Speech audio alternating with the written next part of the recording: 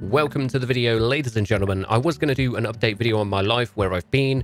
That'll have to be the next video now because we've had some news on the Australian government banning DayZ from Xbox and PlayStation 4. If you already own DayZ in Australia, you get to keep it and still play it. But uh, no more purchases from now on, it seems, until the, some solution has come come around to solve this issue. And it all revolves around cannabis being in the game files. Of course, as many people have said, they're totally fine with hunting other players, killing them, torturing them, and stealing their loot. But this little little bit of cannabis in the game files, that's a big no-no. We're still unaware whether the cannabis will actually be an official part of DayZ, whether it's in the game files or not, but it has been modded in by the community on the Steam Workshop on PC. Now, this is not the first time DayZ's run into issues over in Australia, as they have also earlier this week refused to rate DayZ on their rating board for whatever reason, even though it's already been rated for years of 15 plus.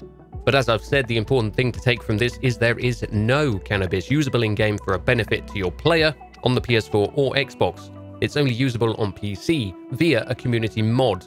So on console, there is no way you can smoke a doob. Is that what the kids say these days? Now, I'm not all clued up on the Australian government and the way they've tried to stop certain games and what games they have tried to stop, but is GTA banned? Because that has a lot of drug references and usage in it as a benefit to the character, especially in the modding community. But Bohemia Interactive is a smaller independent company with a much smaller community. Probably an easy target for them to uh, take down as a, an example, maybe.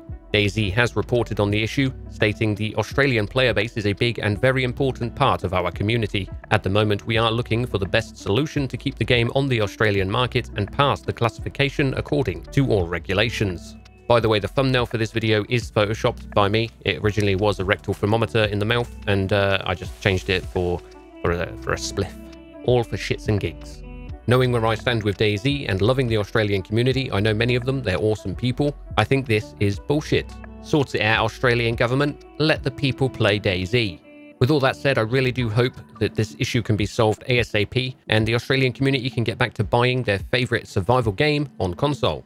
So as you can gather, this is kind of a spur of the moment video. It's kind of frustrating, so I feel you Australian brothers and sisters, we all got your backs. I will get to finishing the channel update video covering my father's situation, where he's at now, my wife, me, and the issues that we've had to deal with. Everybody's got issues. It's a crazy world. Some people don't talk about it, but I'm going to talk about it here with you, ladies and gentlemen. Let's have a good time. Love y'all, and I'll see you peeps next time.